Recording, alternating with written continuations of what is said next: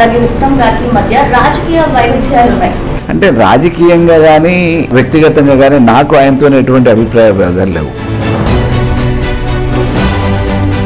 So ఈ B Pharm cancel అవ్వడానికి వెనుక ఎవరితో హస్తం ఉంది? అతని స్వార్థం కోసం ఇక్కడ కాంగ్రెస్ని మట్టుబెట్టిన నాయకుడు ఆల్టర్నేట్ ఏమీ లేక తెలుగుదేశంకి వెళ్ళారా? వెన్నుపొండుదారులు ఆ పాపానికి ఒడిగట్టారు. మళ్ళీ తెలుగుదేశం పార్టీ పుంజుకుంటుంది భవిష్యత్తులో. చంద్రబాబు నాయుడుకి వయసే అయిపోయింది పార్టీని నడిపించే శక్తి లేదని చెప్పి ఆంధ్ర వాళ్ళు అంటూనే ఉన్నారు. మీరు ఆత్మవిమర్శ చేసుకోలేదా? జరుగుతున్న లోపాలను ఎండగట్టడంలో నా వంతు ప్రయత్నం నేను చేస్తాను. అభివృద్ధి పనులు ఎంతవరకు వచ్చాయి కోదాడు? చెరువులు ఎండిపోయిన చెరువులు నిర్రబాసిన చెరువులు ఈరోజు పొంగి పొర్లుతూ అలుగు వస్తూ ఉన్నాయి. మీ ప్రభుత్వం విఫలమైంది అని ప్రతిపక్షాలు అంటున్నాయి. నాయకులుగా వాళ్ళకు వచ్చిన జబ్బునే వాళ్ళు అరికట్టలేకపోయారు. కేటీఆర్కి అండ్ హరీష్ రావు కి మధ్య పదవుల పరంగా కూడా ఏవో ఇబ్బందులు బయటకు ఏదో సృష్టిస్తూ ఉంటారు. అది వాస్తవం కానే కాదు. లోకేష్ నాయకత్వంలో టీడీపీ అధికారంలోకి వస్తుందా ఏపీలో? ఎవరైనా అసలు మామూలుగా ముఖ్యమంత్రిగా ఊహించుకుంటారా?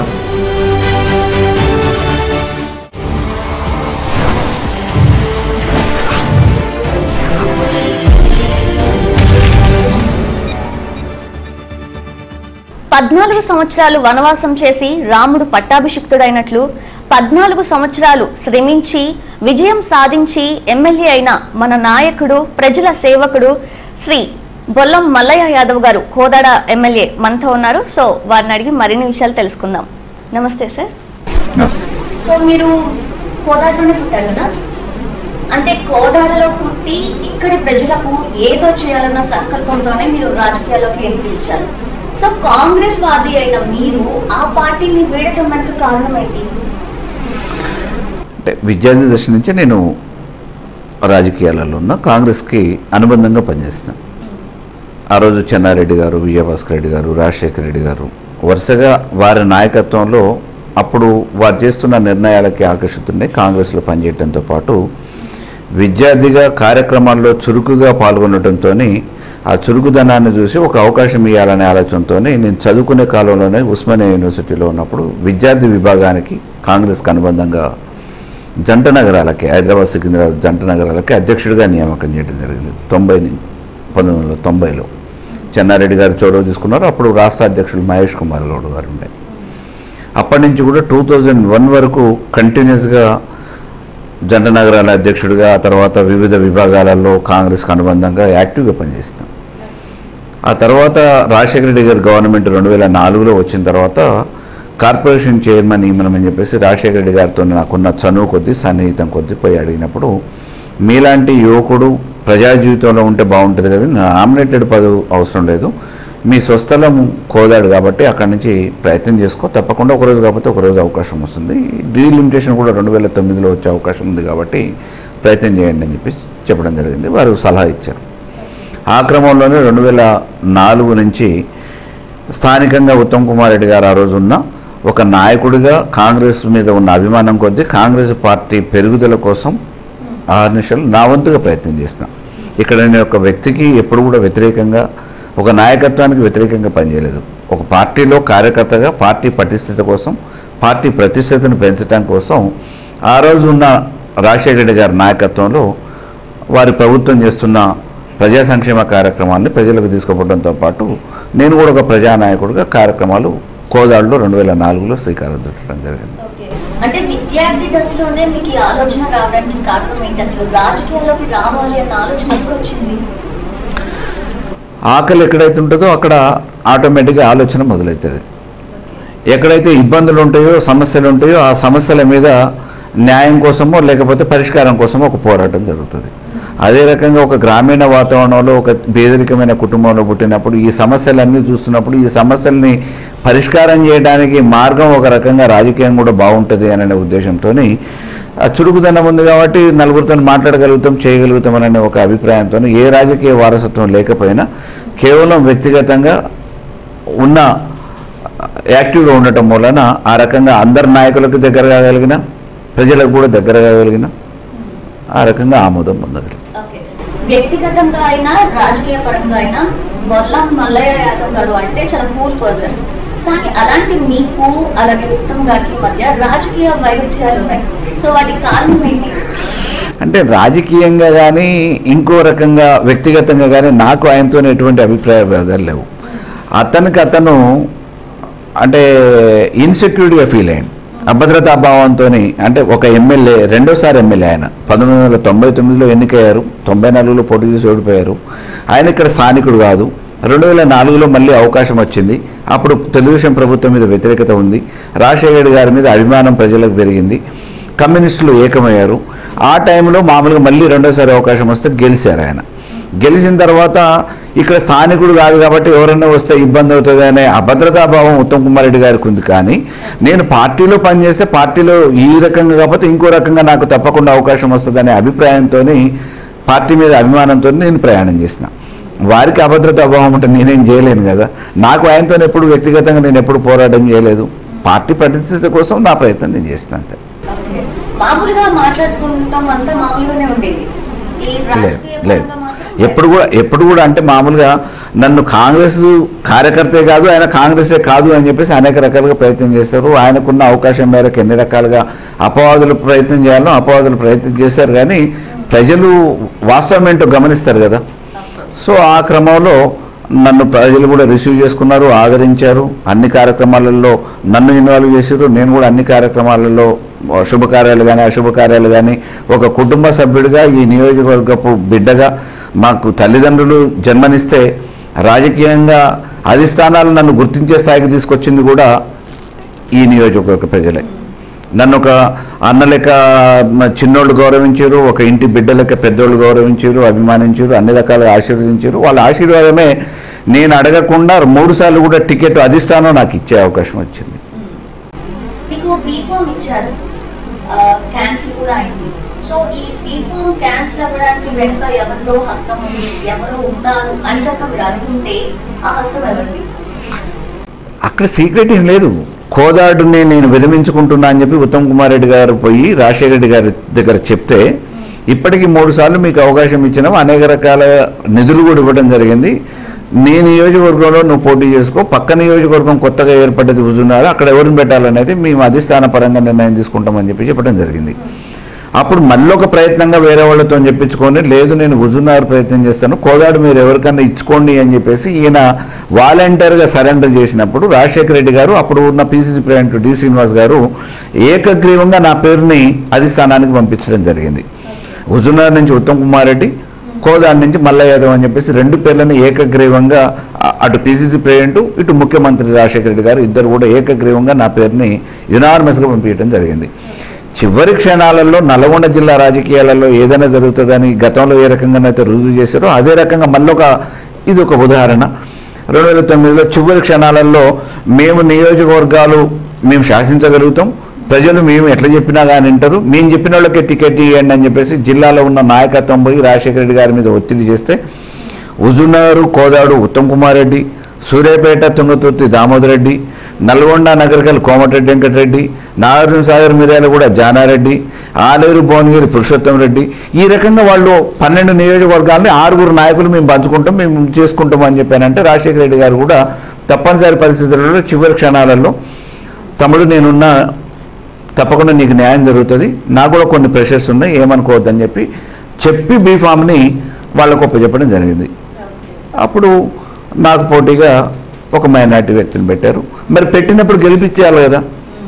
బలం ఉంది అని చెప్పి తెచ్చినప్పుడు గెలిపించాలి కదా. గెలిపించకుండా మళ్ళీ అతన్ని కూడా వెనుపోటు పడవటం జరిగింది. కాంగ్రెస్ని ఓడగొట్టడమే కాకుండా ఏ నమ్మకంతోనైతే నేను గెలిపిస్తా అని చెప్పేసి నన్ను నట్టేట ముంచి వేరే అభ్యర్థిత్వాన్ని ఖరారు చేశారు ఆ అభ్యర్థిని కూడా నట్టేట ముంచి అప్పుల పాలు చేశారు. స్వార్థం కోసం రాజకీయాన్ని వాడుకొని ఇక్కడ కాంగ్రెస్ని పెంచి పోషించిన నాయకత్వాన్ని కార్యకర్తల్ని అందరినీ నెట్టేయడం నుంచి అతని స్వార్థం కోసం ఇక్కడ కాంగ్రెస్ని మట్టుబెట్టిన నాయకుడు ఉత్తమ్ కుమార్ రెడ్డి. తర్వాత తెలుగుదేశం పార్టీలోకి వెళ్ళారు. అంటే ఆ టైంలో ఆల్టర్నేట్ ఏమి లేక తెలుగుదేశంకి వెళ్ళారా? లేదంటే తెలుగుదేశం నుంచి మీకు పిలుపు వచ్చిందా? ఆహ్వానం వచ్చిందా? అండ ఉంటే కొండను బాకొచ్చు అన్నట్టు రాజశేఖర రెడ్డి గారు నాకు రాజకీయంగా అనేక రకాలుగా సహకరించారు. రాజశేఖర రెడ్డి గారు ప్రోత్సహించారు. ఒక యువకుడిగా రేపు ప్రజా జీవితంలో బాగుంటుందని చెప్పేసి ఒక నియోజకవర్గానికి అవకాశం ఇచ్చారు. మరి ఆ నాయకుడు అకస్మాత్తుగా మరణం చెందడం జరిగింది రెండు వేల తొమ్మిది తర్వాత. సో ప్రత్యామ్నాయంగా మళ్ళీ ఇంకొక గురువుని రాజకీయంగా ఎంచుకునే దానికంటే ఈ లోపల మామూలుగా రకరకాల రాజకీయాల సమీకరణాల పేరు మీద కోమటిరెడ్డి వెంకటరెడ్డి గారు రాజీనామా చేయటం ఆ రాజీనామా చేసినందుకు ఉత్తమ్ కుమార్ రెడ్డి గారికి అవకాశం మళ్ళీ మంత్రిగా రావటం. ఆయన మంత్రిగా ఉంటే జిల్లాల మొత్తం నా మీదనే ఒత్తిడి చేసే ప్రయత్నాలలో రాజకీయంగా ఇబ్బంది పెట్టే ప్రయత్నం చేస్తే ప్రత్యామ్నాయంగా తప్పదు కాబట్టి అప్పుడున్న పరిస్థితులలో ఏ పార్టీకి వెళ్ళాలి అని అనుకున్న పరిస్థితులలో నాకు రెండు వేల తొమ్మిదిలో టికెట్ క్యాన్సిల్ అవుతు అయిన వెంటనే కాంగ్రెస్ నుంచి బీఫామ్ వేరే వాళ్ళకి వచ్చిన వెంటనే ఆ రోజు చంద్రబాబు నాయుడు గారు మా పార్టీ నుంచి అవకాశం ఇస్తామని చెప్పేసి ఒక కబురు పెట్టడం జరిగింది. సో కబురు పెట్టిన తర్వాత నేను వాళ్ళకి టచ్లోనే ఉన్నాను. ఈ లోపల ఇక్కడ ఉన్న వాళ్ళు వాళ్ళ అనేక రకమైన సన్నిహితమే కానీ వాళ్ళకున్న బలాన్ని బట్టి కానీ మళ్ళీ టికెట్లు తెచ్చుకోవడం జరిగింది. నేను ఆ పార్టీలో లేను కాబట్టి గట్టిగా అడిగే పరిస్థితి కూడా లేదు. అప్పుడు నాకు అవకాశం రాలేదు. అదే సన్నిహితంతో ఆ చనువుతోని రెండు వేల పన్నెండులో కబురు పెట్టడం జరిగింది నామా నాగేశ్వరరావు గారి ద్వారా. ఒకసారి వస్తే మరి రేపు వచ్చే అవకాశం అన్నా ఇద్దాము అని చెప్పేసి చంద్రబాబు నాయుడు గారు కబురు పెట్టడం జరిగింది. అంటే కబురు పెట్టి కోదాడ టికెట్ మీకే ఇస్తామన్న హామీ ఇచ్చారా? ఇస్తే ఆ టైంలో మీ ఫీలింగ్ ఎలా ఉంది? అంతే కదా. ఇప్పుడు నాకు అది ఎన్నికల సమయం కాదు. రెండు వేల తొమ్మిది ఎన్నికలు అయిపోయిన తర్వాత రెండు వేల పన్నెండు అంటే పద్నాలుగులోనే ఎన్నికలు. రెండు వేల పన్నెండులో మధ్యలోనే నాకు కబురు పెట్టి నామానాగేశ్వరరావు గారి ద్వారా రమ్మనమని చెప్పానంటే వారే తీసుకొని వెళ్ళారు నన్ను చంద్రబాబు నాయుడు గారి దగ్గరికి. తీసుకెళ్ళినప్పుడు లేదు తమ్ముడు డెఫినెట్గా మళ్ళీ కొత్త జనరేషన్ అవసరం ఉంది. ఎప్పుడో పంతొమ్మిది వందల ఎనభై ఐదులో రామారావు గారు వచ్చినప్పుడు రాజకీయాలలో ఉన్నోళ్ళు ఎవరైతే ఉన్నారో వాళ్ళు త్రీ డికేట్స్ అయిపోతూ ఉంది కాబట్టి తప్పకుండా మళ్ళీ రీబిల్డప్ చేయాలంటే కొత్త నాయకత్వం ఆలోచన జరుగుతూ ఉంది. నువ్వు ఆ జిల్లాలో నల్గొండ జిల్లాలో గతంలో మామూలుగా ఈ మీ సామాజిక వర్గానికి బలహీన వర్గాలకు అవకాశం ఇస్తే ఒకళ్ళిద్దరూ దాన్ని నిలుపుకోలేకపోయారు. సరే అవకాశాలు పరిస్థితులు ఏ రకంగా ఉన్నా ఇప్పుడు ఒక యువకుడిగా నియోజకవర్గంలో మంచి పేరుంది కాబట్టి నువ్వు వస్తే రేపు భవిష్యత్తు మీకుంటుంది మేము కూడా పార్టీ పరంగా ప్రోత్సహిస్తాం. తప్పకుండా రానున్న ఎన్నికల్లో అవకాశం ఇస్తామని చెప్పేసి చంద్రబాబు నాయుడు గారు చెప్పడం జరిగింది. ఆ క్రమంలో జాయిన్ అయినా వారు కూడా టికెట్ ఇచ్చారు. అండ్ ఇచ్చారు కూడా. రెండు వేల పద్నాలుగు ఎన్నికల్లో మీరు పోటీ చేశారు. ఆ, పార్టీ అభ్యర్థిగా తెలుగుదేశం పార్టీ అభ్యర్థిగా. ఉత్తమ్ పద్మావతి రెడ్డి చేతిలో ఓటమి పాలయ్యారు. సో ఆ ఓటమికి గల కారణం ఏంటి అంటే మీరు సరిగ్గా ప్రచారం చేసుకోలేకపోయారా లేకుంటే?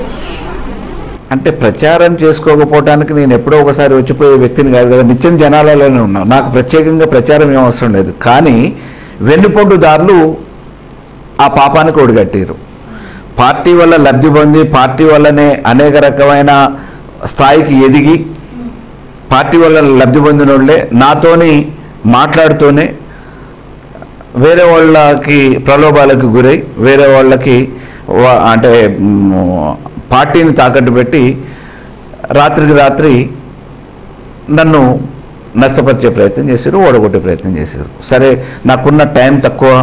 అప్పటికి రకరకాల సమీకరణాలు. ఉత్తమ్ కుమార్ రెడ్డికి ఈ నియోజకవర్గంతో కొంతకాలం సంబంధాలు ఉండటం ప్రభుత్వంలో అప్పుడు ఉండటం మంత్రిగా ఉండటం రేపు కాబోయే ముఖ్యమంత్రి అని చెప్పి ప్రచారం చేసుకోవటం అనేక రకమైన అంశాలు వాళ్ళకి దోహదపడ్డాయి. మా పార్టీలో ఉన్న దొంగలు కూడా వాళ్ళకి సహకారం చేయటం చిన్న మార్జిన్తో ఓడిపోవటం జరిగింది.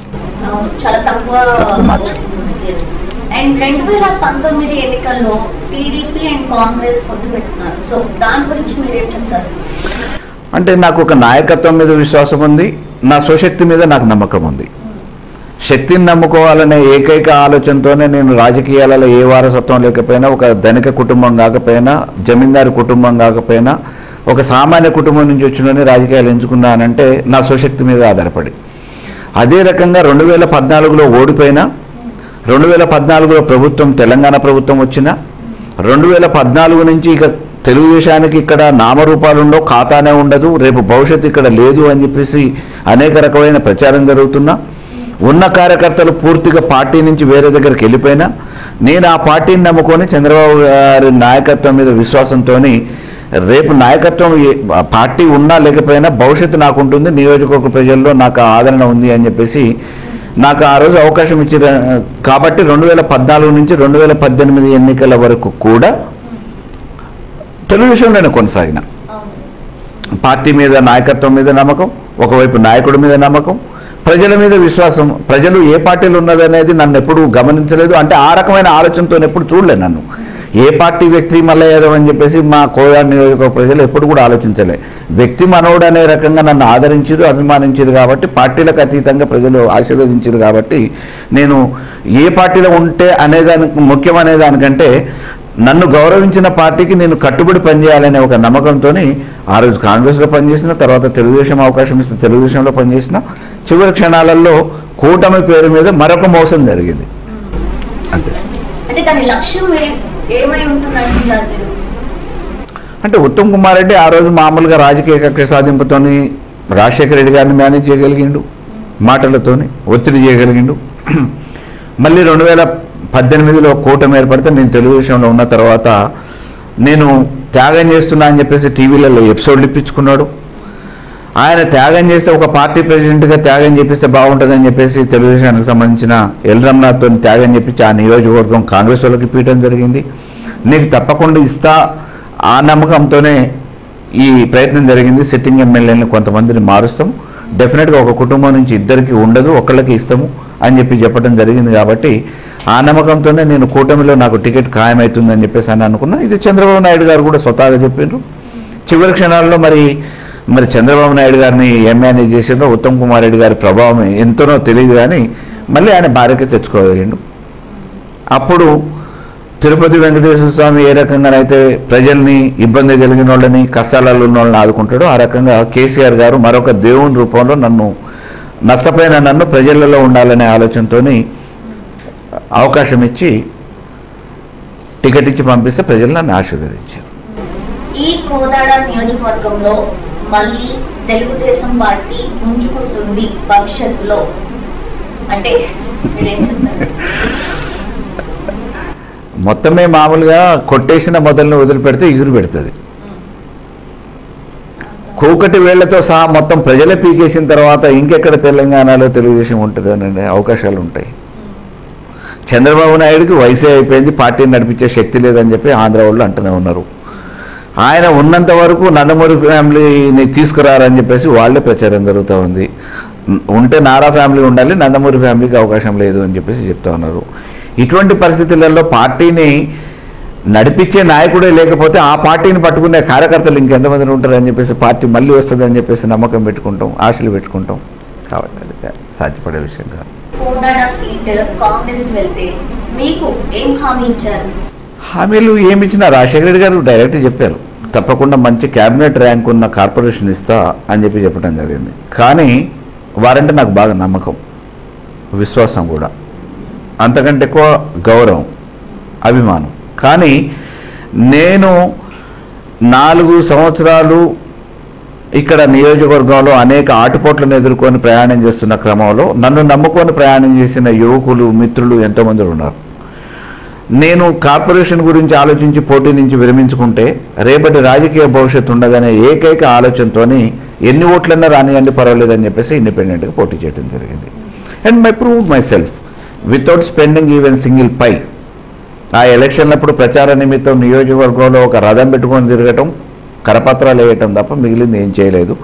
కాలేజీ విద్యార్థి సంఘ ఎన్నికలలో ఏ రకంగా అయితే ప్రచారం చేస్తారో కేవలం అదే రకంగా ప్రచారం చేసినా కానీ నన్ను నియోజకవర్గంలో ఒక గుర్తింపున్న నాయకుడిగా గుర్తింపున్న పార్టీకి ఏ రకమైన ఆదరణ ఉంటుందో అంతకంటే ఎక్కువగా నాకు ఓట్లేసి ప్రజలు నన్ను ఒక వ్యక్తిగా నాయకుడిగా ఇక్కడ నిలబెట్టడం జరిగింది. అదే రెండు వేల పంతొమ్మిది అప్పుడు ఎన్నికల చివరి దశలో రాహుల్ గాంధీ గారు అండ్ చంద్రబాబు గారు ఇక్కడ ప్రచారం చేశారు. సో దాని దాని వెనుక మతలబ్ ఏమై ఉంటుందంటారు? అంటే మీరే గెలిచారు అఫ్ కోర్స్ వాళ్ళు ఎలా ప్రచారం చేసినా. విజయం మీదే అయింది. దాని వెనుక కారణం రెండు వేల పంతొమ్మిది ఏడో తారీఖు డిసెంబర్ ఏడో తారీఖు ఎన్నిక. నేను మూడో తారీఖు ముఖ్యమంత్రి చంద్రశేఖరరావు గారితో ఇక్కడ సభ ఏర్పాటు చేయడం జరిగింది. నియోజకవర్గ స్థాయి కార్యకర్తలతోనే పార్టీ సానుభూతి పనులతోనే సమావేశం ఏర్పాటు చేసిన బహిరంగ సభ. ఐదో తారీఖు పూర్తిగా రాష్ట్ర వ్యాప్తంగా ప్రచారం బంద్. చివరి ప్రచారం ఎక్కడ జరిగింది అని అంటే కోదాడలోనే జరిగింది. రాహుల్ గాంధీ దానికి ఒక అతిథి. చంద్రబాబు నాయుడు గారు ఒక అతిథి. కాబోయే ముఖ్యమంత్రి అని చెప్పుకుంటున్న ఉత్తమ్ కుమార్ రెడ్డి అతిథి. గెలిపించడానికి పద్మావతిని గెలిపించడానికి ఇక్కడ ప్రచారం జరిగింది. అక్కడ జన సమీకరణ కేవలం నియోజకవర్గం నుంచి కాదు ఇక్కడ జిల్లా నుంచి పక్క జిల్లాల నుంచి పక్క నియోజకవర్గాల నుంచి కూడా జన సమీకరణ జరిగింది. అయినా మొక్కవని ధైర్యంతో నేనున్నా. ఒక నాయకుడికి అవకాశం ఇస్తున్నా మీరు నిలబెట్టుకోండి అని చెప్పేసి ముఖ్యమంత్రి గారు మూడో తారీఖు సభలో చెప్పిపోవడం జరిగింది. ఎన్ని రకాల ప్రలోభాలకు గురి చేద్దామని ప్రయత్నం చేసిన కాంగ్రెస్ పేరు మీద కూటమి పేరు మీద అన్ని పార్టీలకు సంబంధించిన నాయకులు ఏకమై నియోజకవర్గ ప్రజల్ని మాయ చేద్దాం అనుకున్నా కానీ మొక్కవని ధైర్యంతో ఏ ఒక్కదానికి ఎక్కడ కుంగిపోకుండా పూర్తి విశ్వాసంతో నన్ను ఈ నియోజకవర్గ బిడ్డగా బలహీన వర్గాలకు సంబంధించిన ప్రతినిధిగా ఆశీర్వదించారు నేను జీవితాంతం పనిచేసినా కానీ ఆ రుణం తీర్చుకోలేను. ఓకే. ఇప్పుడు అయితే టిఆర్ఎస్ పార్టీలో ఉన్నారు. ఇంతకు Yes. ముందు మీరున్న పార్టీల తరఫున కేసీఆర్ మీద విమర్శలు చేశారు. అయితే ఇప్పుడు అదే పార్టీలో కంటిన్యూ అవుతున్నారు కదా సో మీరు ఆత్మ విమర్శ చేసుకోలేదా? అంటే నేను వ్యక్తిగతంగా ఆనాడు ఈనాడు ఏనాడు కూడా ఎవరి మీద విమర్శలు చేయలేదు. ఆ రోజు రాజకీయ పరంగా రాజకీయ పార్టీ పరంగా సిద్ధాంత పరంగా పార్టీ ప్రభుత్వంలో జరుగుతున్న వైఫల్యాలని ఎండగట్టడంలో నా వంతు ప్రయత్నం నేను చేసిన. కేసీఆర్ గారు అంటే నాకు ఎప్పుడు ప్రత్యేకంగా ద్వేషం లేదు. ఈ రోజు ఇంకో నాయకుడు అంటే ద్వేషం లేదు. నాకు అన్యాయం చేసిందని చంద్రబాబు నాయుడిని కూడా నేను ఏనాడు ఒక మాట అనలేదు. ఉత్తమ్ కుమార్ రెడ్డిని ఈరోజు కూడా నేను ఎప్పుడు విమర్శించలేదు. నాకు అన్యాయం వ్యక్తిగతంగా ఆయన చేసి ఉండొచ్చు. ఆయన ఆయన ఎదుగుదల కోసమో ఆయన రాజకీయ మనుగడ కోసమో నేను ఎక్కడైనా పోటీ అవుతుందనే అభద్రతా భావంతో నా మీద ఆయన ప్రయత్నం చేసి చేసి ఉండొచ్చు. నేను దాన్ని ఎప్పుడు కాదనలేని తప్పుపట్టును. కానీ నా శక్తి నా ఎదుగుదల కోసం నా ప్రయత్నం నేను చేసుకుంటాను అంతే తప్ప ఎదుటి వాళ్ళని తప్పుపట్టినంత మాత్రం నాకు జరిగే ప్రయోజనమే ఉంది. ఆ రకంగా నేను రాజకీయ పార్టీలు ఏ పార్టీలో ఉన్నా కానీ అక్కడ జరుగుతున్న లోపాల మీద నేను ఎండగట్టే ప్రయత్నం చేసిన తప్ప వ్యక్తిగతంగా ఆ రోజు టీఆర్ఎస్లో ప్రభుత్వం తీసుకున్న నిర్ణయాలని ఒకవైపు ఆమోదిస్తూనే హర్షిస్తూనే జరుగుతున్న లోపాలని ఎండగట్టడంలో నా వంతు ప్రయత్నం నేను చేసిన సో పార్టీ సిద్ధాంతాల పరంగా జరిగిందంతే యా అండ్ మీరు ఫస్ట్ కాంగ్రెస్ ఎస్ తర్వాత టీడీపీ ఇప్పుడు టిఆర్ఎస్తో కంటిన్యూ అవుతున్నారు. సో తర్వాత అంటే మూడు పార్టీలు మారిన మీరు తర్వాత బీజేపీలోకి కూడా వెళ్ళే ఛాన్స్ ఉందా? అంటే? అంటే మీరు ఒకటి గమనించాలి ఇక్కడ. నా అవసరాల కోసం నేను ఎప్పుడు పార్టీ మారలే. నేను ఉన్నంత వరకు ఆ పార్టీకి కమిట్మెంట్గానే ఉన్నా. నేను ఏదైతే ఒక అవకాశం కోసం ఆలోచిస్తూ ప్రయాణం చేస్తున్నానో అక్కడ నష్టం జరిగినప్పుడు ఇబ్బంది జరిగినప్పుడు మోసం జరిగినప్పుడు ఆ మోసాన్ని గమనించి నాకు అవకాశాలు పార్టీలు ఇచ్చినాయి. నేను కాంగ్రెస్లో ఎన్నడూ కూడా మామూలుగా విభేదించి రెండు వేల తొమ్మిదిలో పార్టీ మారలేదు ఎన్నికలప్పుడు ఇండిపెండెంట్గానే ఉన్నా. నాకు ఆ రోజు వేరే పార్టీలు అవకాశం ఇస్తామని అన్నారు. తెలుగుదేశం వాళ్ళు అన్నారు పీఆర్పీ వాళ్ళు అన్నారు. నేను వెళ్ళలేదు. రేపటి భవిష్యత్తు గెలిచినా ఓడిపోయినా దీంట్లో ఉంటామన్నాను రెండు వేల పన్నెండులో మధ్యలో పోయినా. ఎందుకు అనంటే అప్పుడు నేను నమ్ముకున్న రాజశేఖర రెడ్డి గారు లేరు. ఇక్కడ ఉత్తమ్ కుమార్ రెడ్డి గారు నా మీద అనేక రకమైన ప్రయత్నాలు చేసి కేసులు పెట్టించే ప్రయత్నం చేస్తున్నప్పుడు తప్పనిసరి పరిస్థితులలో తెలుగుదేశానికి వెళ్ళిన. తెలుగుదేశం నాకు అవకాశం ఇచ్చింది. అంత అని చెప్పేసి తెలంగాణలో అధికారం టీఆర్ఎస్కి వచ్చింది కదా అని చెప్పేసి నాకు అవకాశం ఉంది కదా అని చెప్పేసి నేనేదో ప్రయత్నం చేసి పోలేదు. ఆ పార్టీనే నమ్ముకొని ఉన్నా. చివరికి ఆ పార్టీని నమ్ముకున్నాక కూటమి పేరు మీద మోసం జరిగింది. నన్ను నియోజకవర్గ ప్రజలు ఒక ఎమ్మెల్యేగా చూడాలనే ఆలోచనతోనే నన్ను ఎన్నో రకాలుగా ఆహ్వానించడం జరిగింది నన్ను ప్రోత్సహించడం జరిగింది.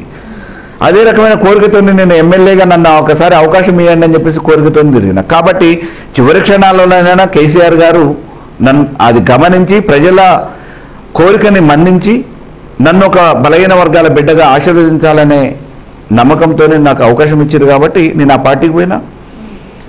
వారు పెద్ద మనసుతో ఆశీర్వదించే అవకాశం ఇచ్చారు. ప్రజలు కూడా అదే రకంగా వారి నమ్మకాన్ని నిలబెట్టడంతో పాటు మల్లయ్య యాదవ్ వెనక మేము ఉన్నామని చెప్పేసి ప్రజలు రుజువు చేశారు. ఓకే మీరు అసెంబ్లీ సమావేశంలో అడిగారు నా నియోజకవర్గ కోదాడ నియోజకవర్గంలో కొన్ని అభివృద్ధి పనులు చేయాలి అని చెప్పి వాటి గురించి కోరారు అండ్ కేటీఆర్ గారు కూడా దానికి హామీ ఇచ్చారు మీకు. Yes. నిధులు కూడా మంజూరు చేస్తామని Yes. సో ఇప్పుడు ఆ అభివృద్ధి పనులు ఎంతవరకు వచ్చాయి కోదాడ? కోదాడు పట్టణంలో దాదాపు ఇప్పటికీ వంద కోట్ల నిధులతోనే కార్యక్రమాలు జరుగుతూనే ఉన్నాయి. సిమెంట్ రోడ్లు వేసినాం అంతకుముందు అంతే మట్టి రోడ్లు ఎప్పుడో గ్రామ పంచాయతీలో ఉన్న మట్టి రోడ్లు తప్ప మొన్నటి వరకు లేవు. మున్సిపల్ ఎన్నికల కంటే ముందు దాదాపుగా కోదాడు పట్టణంలో అన్ని వీధులను కూడా సిమెంట్ రోడ్లు వేయగలిగినాం. అది పురపాలక శాఖ మంత్రి కేటీఆర్ గారి ఆశీర్వాదంతోనే వారి సహకారంతోనే. అదే రకంగా ఈరోజు ముప్పై లక్షల ముప్పై కోట్ల నిధులతోని టౌన్ సెంట్రల్ లైటింగ్ జరుగుతూ ఉంది. Widening plus central lighting. అది కూడా కేటీఆర్ గారు పురపాలక శాఖ మంత్రి గారి సహకారంతోనే ఆశీర్వాదంతోనే. అదే రకంగా ఈరోజు అరవై సంవత్సరాల కళ మోతే నడుగుడ మునగాల మండలానికి కాళేశ్వరం నీళ్ళు వచ్చినాయి. ఎప్పుడు కూడా ఈ నియోజకవర్గ ప్రజలు నీళ్ళు వస్తాయని చెప్పేసి ఊహించలేదు. సారవంతమైన భూములు ఉన్నాయి శక్తివంతమైన రైతులు ఉన్నారు అన్ని రకాల వసతులు ఉన్నాయి కానీ చేసుకోవడానికి నీళ్ళు లేక వృధాగా పోతున్న భూములు వీళ్ళుగా మారుతున్న భూముల్ని ఈరోజు సస్యశ్యామలం చేసుకోవడానికి కాళేశ్వరం నీళ్ళు నిత్యం పారుతూ ఉన్నాయి. చెరువులు ఎండిపోయిన చెరువులు నెర్రెబాసిన చెరువులు ఈరోజు పొంగి పొర్లుతూ అలుగు వస్తూ ఉన్నాయి. అది కేసీఆర్ గారు. నా అదృష్టం ఏంటంటే నేను ఎన్నికైన ఒక సంవత్సరం లోపల కేసీఆర్ గారు కాళ్ళు పట్టుకొనైనా పాలేరు జలాలు తీసుకొస్తా అని చెప్పేసి ఆ రోజు మాట ఇచ్చిన. అదృష్టవశాత్తు కేసీఆర్ గారు పుణ్యాన కాళేశ్వరం నీళ్ళు ఎస్ఆర్ఎస్పి ద్వారా మొన్నటి పంటకి నింపడం జరిగింది. ఈరోజు మోతే నడుగుడం మునగాల మండల ప్రజలందరూ కూడా రైతాంగం అందరూ కూడా చాలా సంతోషంగా ఉన్నారు. తాగునీటి సాగునీటి సమస్య శాశ్వతంగా పరిష్కారమైంది. అదో పెద్ద అచీవ్మెంట్ డెబ్బై సంవత్సరాలలో ఎవరు చేయలేకపోయారు. మీకు ఈ సందర్భంగా ఒక విషయం గుర్తు చేస్తా. మాదారం ఈ నియోజకవర్గంలో మునగాల మండలంలో మాదారం గ్రామంలో దాదాపుగా వంద కోట్ల నిధులతో మంచినీటి కోసం మొదలుపెట్టిన ప్రాజెక్టు రాజశేఖర రెడ్డి గారి దగ్గర నుంచి నిధులు తీసుకొచ్చి మొదలు పెడితే ఆ ఊరికి కనీసం మంచినీళ్ళు ఇవ్వలేకపోయిండు వృధాగా పోయినాయి వంద కోట్లు. కానీ ఈ రోజు ఆ డ్యామ్ని రూపాయి ఖర్చు లేకుండా కాళేశ్వరం నీళ్ళతో నింపగలిగినాం. తాగునీటి సమస్య సాగునీటి సమస్య శాశ్వతంగా పరిష్కారం అయిపోయింది. అదే రకంగా కోదాడికి నీళ్ళు తీసుకొస్తా అని చెప్పేసి సింగారం ప్రాజెక్టులో కోట్ల రూపాయల నిధులు దుర్వినియోగం చేసి నీళ్ళు రాకపోతే ఇంజనీరింగ్ వైఫల్యం అని చెప్పి ఒక మాటతోని కొట్టేసారు ఇదే ఉత్తమ్ కుమార్ రెడ్డి. ఈరోజు సింగారం నీళ్ళు తీసుకురావడంతో పాటు కోదాడికి మిషన్ భగీరథ నీళ్ళు తీసుకొచ్చినాం. ప్రతి ఇంటికి ఉచితంగా నల్ల నీళ్ళు ఇస్తున్నాం మిషన్ భగీరథ ద్వారా. ఈ ఎండాకాలంలో కనీసం ఒక ట్యాంకర్ పెట్టే అవసరం ఏర్పడలేదు కోదాడు పట్టణానికి. ఏ ఒక్క ఇంటికి నాకు నీటి సమస్య ఉందనే కాంప్లైంట్ రాకుండా మొదటి సంవత్సరంలోనే కోదాడు ప్రజలందరికీ కూడా పట్టణ ప్రజలందరికీ కూడా నీళ్ళు అందియగలిగింది శాశ్వతంగా పరిష్కారమైంది. కానీ భారీ వర్షాలు కనుక కురిస్తే కొన్ని మండలాలు నీట మునిగిపోతున్నాయి అంటారు సో ఆ సమస్యలకి పరిష్కారం అంటే ఇప్పుడు నేను సమస్యలు లేవు అని చెప్పి చెప్పను. కానీ ఎంతో గొప్పగా చెప్తున్నా అని చెప్పేసి ప్రొజెక్ట్ చేసుకున్న ఉత్తమ్ కుమార్ రెడ్డి ఉత్తమ్ పద్మావతి ఈ నియోజకవర్గానికి శాశ్వత ప్రాతిపదికన అసలు చేసిన పనులేంటి ఒకవేళ చేసి ఉంటే ఈరోజు ఈ పరిస్థితి ఎందుకు ఉండేది? మొక్కుబడిగా ప్రచార ఆర్భాటాల కోసం చేసుకున్న వాళ్ళు చేసిపోవటం మూలాన? వారి పుణ్యాన్ని ఈరోజు నియోజకవర్గంలో కొన్ని ఇబ్బందులు ఉన్నాయి. కానీ వాళ్ళని ఎవరిని నేను ఏలెత్తి తప్పుపడే తెలుసుకోలేదు జరిగిపోయిన దాని గురించి అప్రస్తుతం. ఈరోజు జరగాల్సినవి ఏవైతే ఉన్నాయో తప్పకుండా కొన్ని సమస్యలు ఇబ్బందికరమైన సమస్యలు ఉన్నాయి. కొన్ని రోడ్లలో నాట్లు వేసుకునే పరిస్థితి ఉంది అని చెప్పేసి అక్కడక్కడ మనం పేపర్లలో చూస్తూ ఉన్నాం. వాటిని ఏ రకంగా పరిష్కారం చేయాలనే దాంట్లో ఈ మధ్యకాలంలోనే మా నియోజకవర్గానికి అభివృద్ధి చేయడానికి ఇమ్మీడియట్గా కావాల్సిన నిధులు రోడ్లు కానీ బిల్డింగ్స్ కానీ కమ్యూనిటీ హాల్స్ కానీ ఇవి చేయాలని చెప్పేసి ముఖ్యమంత్రి గారికి ఒకరోజు అసెంబ్లీ జరుగుతున్నప్పుడు చెప్తే వెను వెంటనే స్పందించి ఆమోదాన్ని కూడా వ్యక్తం చేసి చీఫ్ సెక్రటరీ గారికి చెప్పడం జరిగింది. కాకపోతే దురదృష్టవశాత్తు ఈరోజు కరోనా వెంటాడుతుంది. ఈరోజు ప్రాణంతో బతుకుతే చాలనుకునే పరిస్థితి ప్రజలకు ఉంది. ప్రభుత్వం కూడా చిత్తశుద్ధితోనే కరోనా నుంచి బయటపడాలని చెప్పేసి చేయాల్సిన ప్రతి ప్రయత్నం చేస్తుంది. అభివృద్ధి కోసం ఈ సంక్షేమ కార్యక్రమాలు ఏవైతే కొనసాగాల్సిన అవసరం ఉందో ఈ అభివృద్ధి కోసం సంక్షేమ కార్యక్రమాలు కొనసాగుతున్నాయి. అభివృద్ధి అనేది కొంతవరకు కొంత కాలయాపన జరగవచ్చు. కానీ అతి తక్కువ కాలంలోనే వీలైనంత త్వరలో ఈ ఇమ్మీడియట్గా చేయాల్సిన ఏవైతే ఉన్నాయో రోడ్లు కానీ ఇతరత్ర అవసరాలు కానీ డబుల్ బెడ్రూమ్స్ కానీ శాశ్వతంగా మామూలుగా కొంతమందికి ఇండ్లు ఇచ్చే విషయం కానీ బీదవాళ్ళకి ఏదైతే ఐదు లక్షల రూపాయలు ఆర్థికంగా సహాయం చేయాలని చెప్పి ప్రభుత్వం యోచించి మొన్న బడ్జెట్లో పెట్టిందో ఆ రకమైన క్రమంలో ఇక్కడ శాశ్వత ప్రాతిపదికన ఇండు లేని నిరుపేదలందరికీ కూడా ఇండ్లు అందియాలనే ఒక ఆలోచన ఉంది. డెఫినెట్గా అది కూడా చేయబోతా ఉన్నాం. రోడ్లు కూడా ఇబ్బందికరమైన రోడ్లు ఏవైతే కనెక్టివిటీ ఉందో వాటిని కూడా అతి త్వరలోనే పరిష్కారం చేయబోతాం మీరు చెప్పారు కరోనా అంటే కరోనాని అరికట్టడంలో కరోనా నుంచి ప్రజల్ని రక్షించడంలో మీ ప్రభుత్వం విఫలమైంది అని ప్రతిపక్షాలు అంటున్నాయి. సో దానికి ఇప్పుడు ప్రతిపక్షాలు అంటున్నాయి అంటే వాళ్ళకున్న పనే ఉంది.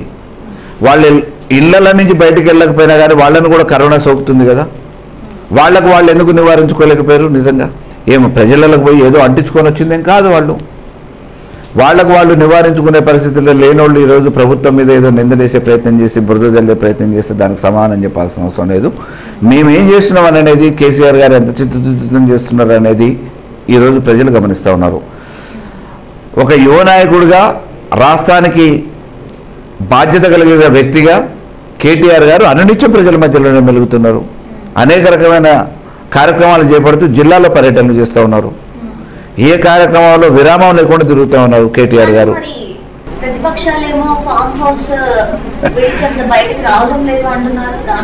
ఇప్పుడు వాళ్ళకున్న సంస్కృతి సాంప్రదాయం అది. ఆ ప్రతిపక్ష నాయకులకి. డెన్నులలో ఉండేది వాళ్ళు బార్లలో గడిపేది వాళ్ళు. వాళ్ళకున్న అలవాట్లనే ఎదుటోళ్ళ మీద రుద్దటానికి దుష్ప్రచారం చేసేసి ఎవరు సమానం చెప్పరు. అనునిత్యం కేసీఆర్ గారు ప్రజానాయకులకి ప్రజాప్రతినిధులకి అందుబాటులోనే ఉన్నారు. మేము రోజు ప్రగతి భవన్లో అధికారులతోనే సమావేశాలు జరుగుతున్నాయి ప్రజాప్రతినిధులతోనే సమావేశాలు జరుగుతూనే ఉన్నాయి. వాళ్ళు బయటకు వచ్చేటప్పటికి వేరే రకమైన ప్రచారం చేస్తూ ఉన్నారు. ఈరోజు ప్రజలు నమ్మే పరిస్థితుల్లో లేరు.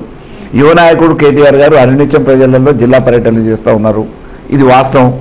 ప్రజలకు తెలిసిన అది నియోజకవర్గాలలో ప్రజాప్రతినిధులుగా బాధ్యత కలిగిన వ్యక్తులుగా నియోజకవర్గాల్లో ఉన్న ఎమ్మెల్యేలు మంత్రులు అందరూ పర్యటనలు చేస్తూనే ఉన్నాం. మా వంతు బాధ్యతగా మేము ఏమి చేయాలో అని చేస్తూనే ఉన్నాం. మరి నాయకులుగా వాళ్ళకు వచ్చిన జబ్బునే వాళ్ళు అరికట్టలేకపోయారు. ప్రజలకు వచ్చే వాటిలో అక్కడక్కడ జరుగుతున్న దాని మీద ఇమీడియట్గా చర్యలు ఏం తీసుకోవాలో మేము తీసుకుంటూనే ఉన్నాం. బురద చల్లడానికి ఏదో మాట్లాడితే ఎట్లా? వాస్తవాన్ని కూడా మనం మాట్లాడాలి కదా. ఏపీ ప్రభుత్వంతో అంటే ఏపీతో తెలంగాణకి జలచక్రం నడుస్తుంది. సో ఆ జలచక్రంపై మీ స్పందన? నిన్న మొన్నటి వరకు కలిసి ఉన్న రాష్ట్రం. చిన్న చిన్న సమస్యలు అన్నదమ్ములు భాగాలు పంచుకుంటే కూడా ఎన్నో ఆడనో గట్టి పంచాయతీ వస్తుంటుంది. అదే రకంగా చిన్న చిన్న సమస్యలు ఉంటే వాటిని మామూలుగా పరిష్కారం చేసుకుంటాం చర్చల పరంగా. ఇప్పుడు కూడా ఆ ఆ రాష్ట్రం వేరు ఈ రాష్ట్రం వేరు అనే భావన ఎవరికి లేదు. ప్రజలందరూ కలిసే ఉన్నారు. పేపర్ల మీద మామూలుగా రాష్ట్రాల పరంగా వేరే విభజన ఉంటే ఉండొచ్చు. కానీ ఈరోజు విభజన జరిగిన తర్వాత తెలంగాణ ప్రజలకు పూర్తి స్థాయిలో న్యాయం జరుగుతుంది అభివృద్ధి జరుగుతుంది అనే విశ్వాసం ప్రజలకు ఉంది అది కళ్ళకోపడుతూ ఉంది. కాబట్టి పక్క రాష్ట్రం ఎవరితో గొడవలు అవసరం ఉండదు మహారాష్ట్రతో అటువంటిది ఒప్పించుకొని నీళ్ళు తీసుకురాగలిగినాం. కర్ణాటక అటువంటిది ఒప్పించుకొని నీళ్ళు తీసుకురాగలిగినాం. ఇది తెలుగు రాష్ట్రం తెలుగు ప్రజలు నిత్యం రాకపోకలు ఉంటాయి. రాజధానిలో పూర్తిగా ఆ- రాష్ట్రానికి ఆంధ్ర రాష్ట్రానికి సంబంధించిన వాళ్ళందరూ కూడా హైదరాబాద్ రాజధానిలో ఉన్నారు. మరి వాళ్ళందరికీ ఈరోజు విశ్వాసం ఉంది కాబట్టి హైదరాబాదు గతానికి ఈ ఆరు సంవత్సరాల్లో తెలంగాణ ప్రభుత్వంలో అప్పటి వరకు ఎంత అభివృద్ధి జరిగిందో అంతకంటే ఎక్కువ అభివృద్ధి డబుల్ అభివృద్ధి ఇప్పుడు ఆరు సంవత్సరాలలో జరిగింది. హైదరాబాద్ మీరు ఈరోజు పట్టి చూడలేం. జూబ్లీహిల్స్లో బంజారాహిల్స్లో బంజారా హిల్స్లో రెండున్నర లక్షలు గజం అని చెప్పేసి అమ్ముతూ ఉన్నారు. అంటే వచ్చి స్థిరపడటానికి వాళ్ళు ఒక సురక్షితమైన స్థానంగా గుర్తించారు కాబట్టి వచ్చిన వాళ్ళందరూ కూడా వేరు వేరు రాష్ట్రాల నుంచి వచ్చారు వేరు వేరు దేశాల నుంచి వచ్చారు. ఒక తెలంగాణ వాళ్ళే కాదు కదా. గుజరాతీస్ ఉన్నారు రాజస్థాన్ ఉన్నారు వైజాగ్ వాళ్ళు ఉన్నారు రాజమండ్రి వాళ్ళు ఉన్నారు ఈస్ట్ గోదావరి వెస్ట్ గోదావరి వాళ్ళు కూడా ఉన్నారు. ఎవరు తెలంగాణ రాష్ట్రం వచ్చేంత వరకు తెలంగాణ రాష్ట్ర అభివృద్ధి కోసం పనిచేస్తామని కంకణ పనిచేస్తా అని చెప్పి కేసీఆర్ గారు చెప్పారు. ఆ రకమైన అభివృద్ధి కార్యక్రమాలు జరుగుతూ ఉన్నాయి. రాజకీయ పరంగా ఏ అండదండ లేకుండా మీరు ఈ స్టేజ్లో ఇప్పుడు ఎమ్మెల్యేగా ఉన్నారు అంటే ప్రజల్లో మీరు మిమ్మల్ని మీరు ప్రూవ్ చేసుకున్నారు కాబట్టి జరిగింది. కానీ ఇప్పుడు కుటుంబ పాలన అనేది ఎక్కువైపోయింది. సో కుటుంబ పాలన అనే ముద్రపై మీరు ఎలా స్పందిస్తారు? దాన్ని ఎలా చూస్తారు? ఎవరిది కుటుంబ పాలన అంటున్నారు? జనరల్గా ఇప్పుడు వాళ్ళ కుటుంబం నుంచే సీట్లు ఇవ్వడం కుటుంబం నుంచి సీట్లు ఇవ్వడం వాళ్ళకి వాళ్ళే ఎమ్మెల్యేలు అవ్వడం ఇట్లా. అదే కుటుంబం నుంచి అంటే ఎగ్జాక్ట్గా మీరు చెప్పట్లేదు. కుటుంబ పాలన అంటే అంటే నియోజకవర్గాలలో వారసత్వం నడుస్తుందని అంటున్నారా? రాజకీయ వారసత్వం? ఉంటుంది కదా, ఆ రాజకీయ వారసత్వం. ఇప్పుడు ఇందిరాగాంధీ గారి దగ్గర నుంచి మామూలుగా అక్కడ అంతకుముందు నెహ్రూ దగ్గర నుంచి మొదలుపెట్టుకొని గాంధీ ఫ్యామిలీ కాంగ్రెస్ని పరిపాలిస్తుంది కదా. అడ్మినిస్ట్రేషన్ అంతా వాళ్ళదే కదా. ఒక్క non Gandhi family PV Narasimha Rao గారు చేశారు. పివి నరసింహరావు గారు చేస్తే ఎన్ని అవమానాలు పాలయ్యారో తెలుసు కదా. శవాన్ని కూడా ఆడ కాల్చే పరిస్థితి లేదు. అందరు ప్రధానంలో శవాలు అక్కడ కాలిస్తే ఇది స్వస్థలమని హైదరాబాద్కి పంపిస్తే కాల్చే పరిస్థితి లేదు. అది జరిగింది అయిపోయింది. మరి ఇక వేరే రామారావు గారు పోయిన తర్వాత చంద్రబాబు నాయుడు గారు వచ్చారు తెలుగుదేశానికి. మరి ఇలా జూనియర్ ఎన్టీఆర్ రావాలని చెప్పేసి అందరు అడుగుతున్నారు. వస్తే పార్టీ బతుకుతుందని చాలామంది ఆశలు పెట్టుకున్నారు. మరి వారిని తీసుకురావట్లేదు. అది వాళ్ళకి సంబంధించిన విషయం. ఇప్పుడు ఉన్న మా పార్టీకి వాడికి వచ్చేటప్పటికి కేసీఆర్ గారి నాయకత్వాన్ని నమ్మి విశ్వాసంతో తెలంగాణ ఆ రోజు తెచ్చుకోగలిగారు ప్రజలు ఉద్యమంలో పాల్గొన్నారు. ఈరోజు ఆ విశ్వాసంతోనే ముఖ్యమంత్రికి అవకాశం ఇచ్చారు. వారి నాయకత్వంలోనే రాష్ట్రం నడుస్తుంది. వారు ఉద్యమంలో ఉన్నారు కదా. కేటీఆర్ గారు ఉద్యమంలో ఉన్నారు. సృష్టించడానికి ఏమైనా సృష్టిస్తారు. ఆలుమగల మధ్యలో పంచాయతీలు సృష్టించే సంస్కృతి కొంతమందికి ఉంటుంది. అన్నదమ్ముల మధ్యన విషయ సంస్కృతి మనస్పర్ధలు సృష్టిస్తుంటారు. బయటకు ఏదో సృష్టిస్తూ ఉంటారు. అది వాస్తవం కానే కాదు. లేవు ఉండవు కూడా. భవిష్యత్తులో కూడా ఉండవు. హరీష్ రావు గారు అర్థం చేసుకొని ముందుకు పోగలిగిన వ్యక్తి. కేటీఆర్ గారు కూడా సమయస్ఫూర్తితోనే ఏది ఎప్పుడు చేయాలనేది కేసీఆర్ గారి నాయకత్వంలో వీరిద్దరు కూడా కుడి ఎడమ భుజాలుగా పనిచేస్తూ ఉన్నారు.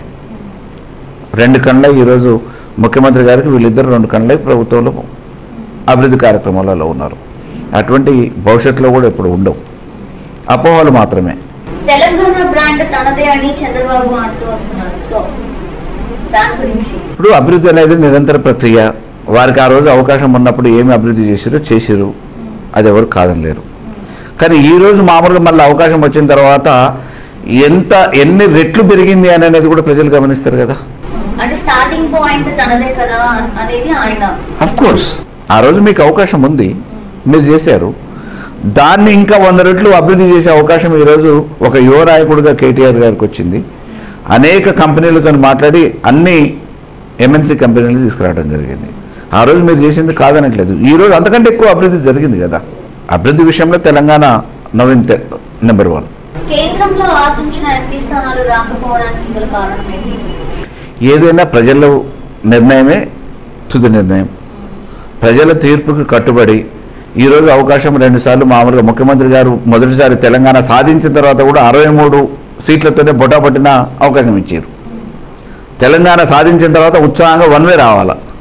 కానీ ఆ రోజు కారణాలు ఏవైనా ప్రజలు అరవై మూడు సీట్లు ఇచ్చారు. రెండోసారి ముఖ్యమంత్రి కావడానికి అబ్జల్యూట్ మెజార్టీతోని ఒప్పచెప్పడం జరిగింది తొంభై మందితోని.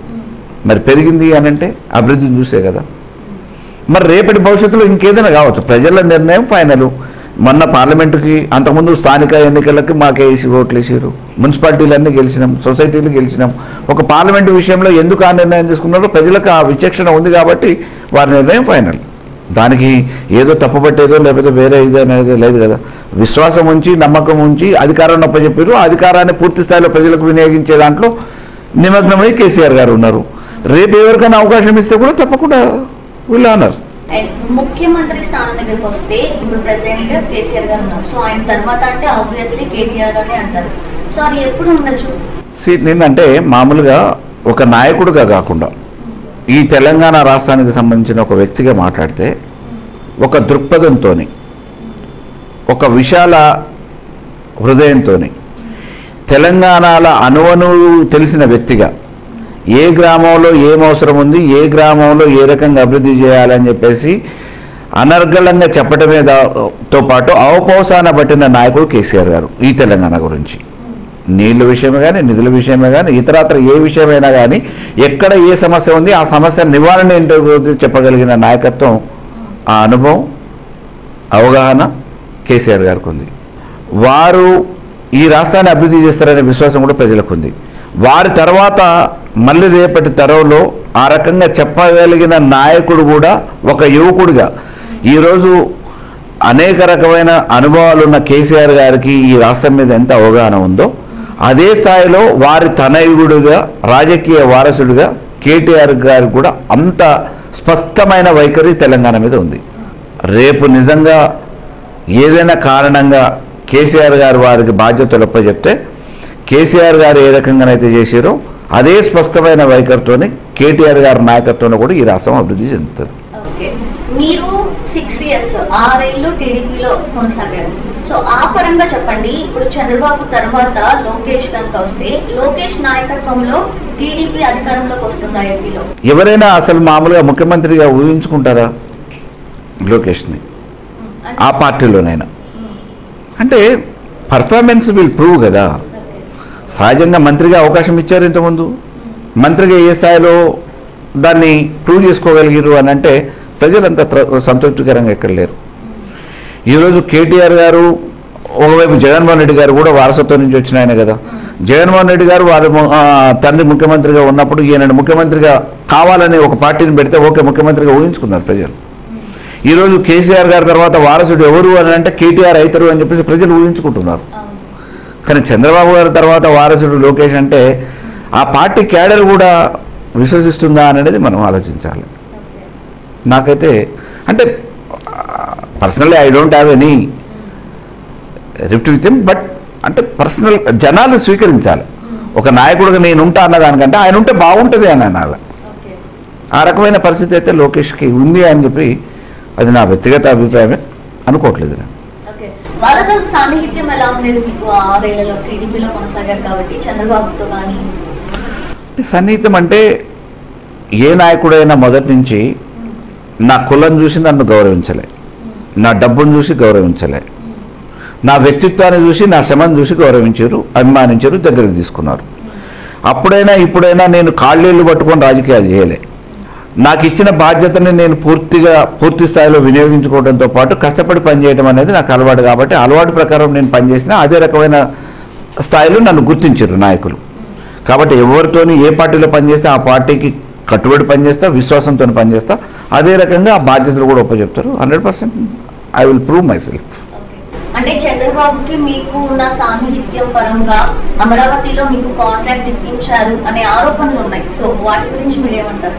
సరే ఆర్థికంగా మామూలుగా ఇబ్బందులు ఉన్నాయని చెప్పేసి అప్పుడో ఇప్పుడో అన్నా కానీ మేము కూడా నవ్వి ఊరుకునే వాళ్ళం కానీ తెలుగుదేశం ప్రభుత్వంలో నేను కాంగ్రెస్లో రాజకీయాన్ని ప్రారంభించిన నా రాజకీయ జీవితం.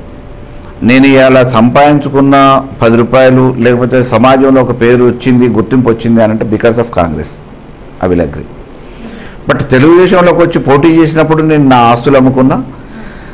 ఒక ప్రధాన కార్యదర్శిగా ఇక్కడ పనిచేసినప్పుడు కూడా నెల నెల ఖర్చుల వారీగా నాకున్న ఆస్తులు అమ్ముకొని పార్టీ నడిపించిన తప్ప వ్యాపార పరంగా ముఖ్యమంత్రిగా ఉన్న చంద్రబాబు నాయుడు గారి దగ్గర నుంచి కానీ తెలుగుదేశం పార్టీ నుంచి కానీ ఐదు పైసల బిల్ల నేను ఆర్థికంగా లబ్ధి పొందలే.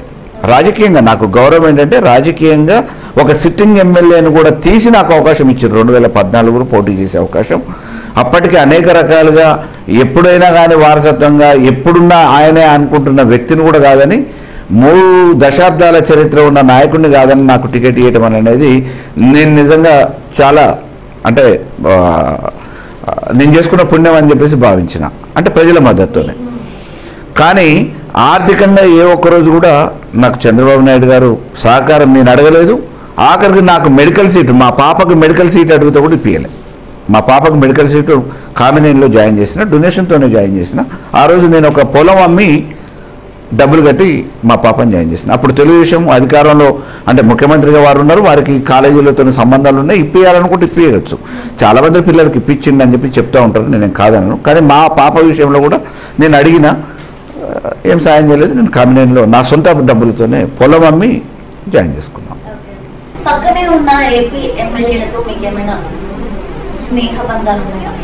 మేము ఇప్పుడు వేరే రాష్ట్రం అనుకోవట్లేదు. ఆ ఉమ్మడి రాష్ట్రంగానే భావిస్తున్నాం. వాళ్ళు కూడా రాకపోకలు పరిచయాలు.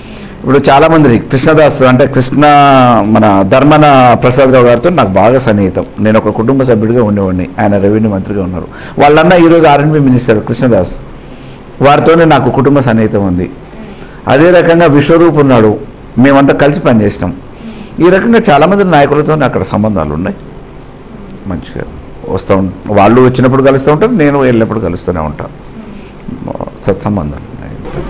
ఒక ఇంటర్వ్యూలో చూసాం. అంటే మీరు చిన్నప్పటి నుంచి అంటే విద్యార్థి దశ నుంచి ఇలా రాజకీయాల్లోకి ఎంట్రీ ఇచ్చారు. కుటుంబానికి ఎప్పుడు దూరంగానే ఉన్నారు. అది ఇక్కడ అంటే ఈ కోదాడ ప్రజలే మీకు బిడ్డలుగా మీరు స్వీకరించి ఇలా రాజకీయంగానే మీరు ఉన్నారు. సో కుటుంబం పరంగా మీకు ఎలాంటి అంటే వాళ్ళు ఎలా ఫీల్ అవుతారు? దీన్ని మిమ్మల్ని ఎలా చూస్తారు?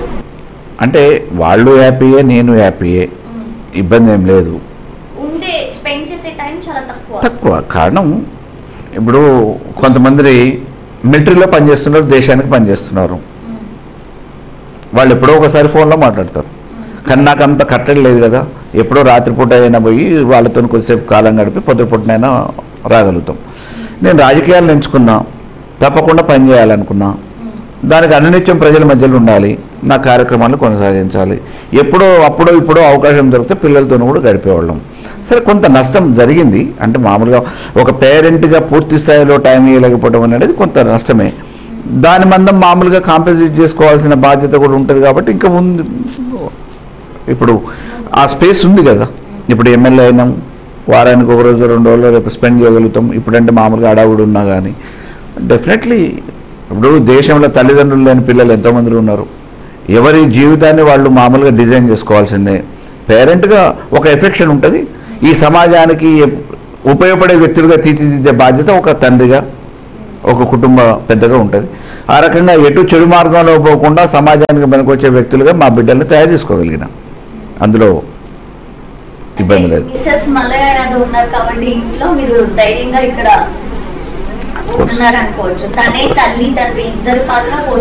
Yeah of course we should share the responsibilities కదా.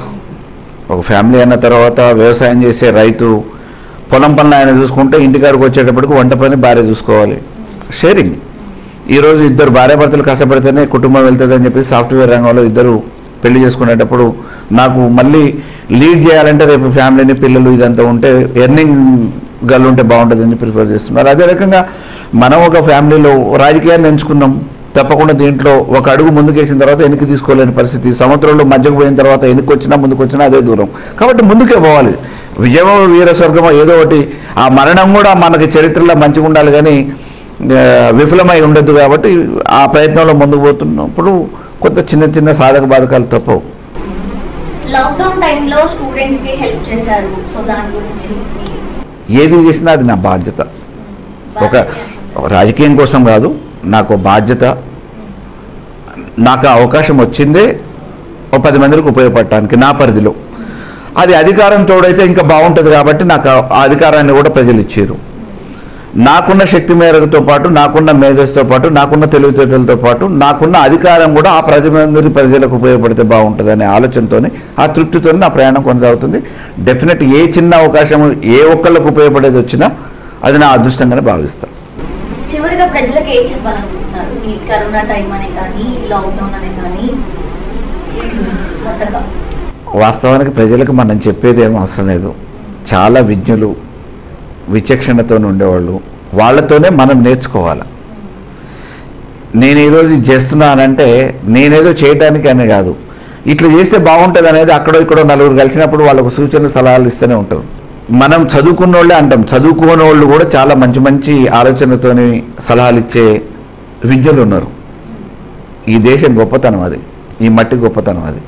కాబట్టి చాలా వివేకంతో ఆలోచనతోని అనుభవంతో సలహాలు ఇచ్చే ప్రజలు ఉన్నారు మనం ఏం చేయాలనేది నిర్ణయం వాళ్ళే చేస్తూ ఉంటారు. వాళ్ళ నిర్ణయం ప్రకారం మన భవిష్యత్తు.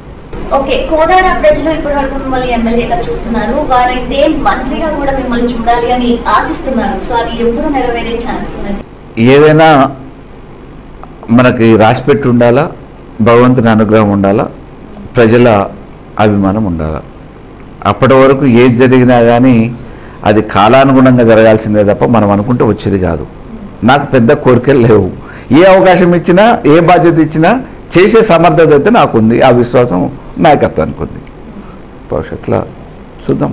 అదృష్టం ఉంటే తప్పకుండా కలిసి వస్తే నడిచి వచ్చే కొడుకు కొడతాడు అంటారు కదా. అట్లా అదృష్టం ఉంటే చూద్దాం. సో ఇది మన కోదాడ ముద్దుబిడ్డ కోదాడ నియోజకవర్గ ఎమ్మెల్యే శ్రీ బొల్లం మల్లయ్య యాదవ్ గారితో స్పెషల్ ఇంటర్వ్యూ.